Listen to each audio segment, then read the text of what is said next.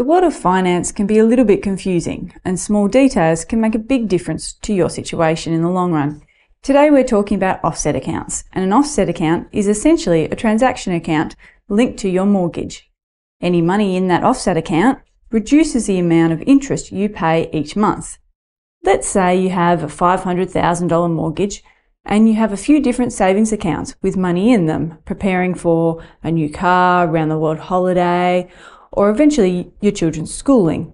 Let's say over the years you've put away a total of $50,000 towards all of these.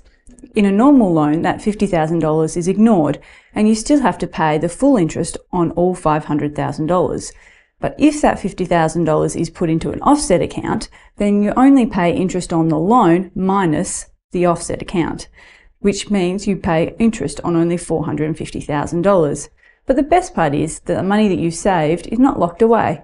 It's available for you the moment you need it to pay your school fees, buy those airfares, or whatever it was you were saving for in the first place. If you're the kind of person that manages their money and saves for the future, then an offset account will save you a small fortune on interest repayments over the life of the loan and could help you pay the whole thing off much faster. In fact, offset accounts are a great idea for everyone with a loan. My name's Edwena Dixon and I'm a mortgage and finance broker